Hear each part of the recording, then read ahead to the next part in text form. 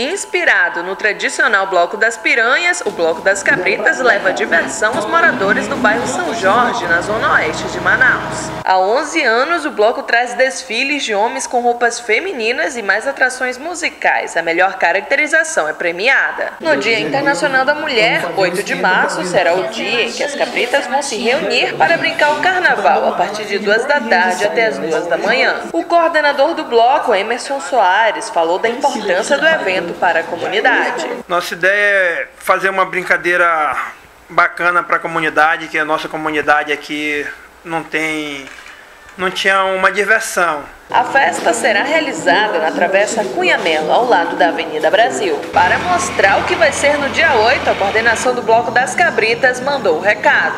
Vou cair na folia, eu vou, eu vou, eu vou comemorar 11 anos de festa.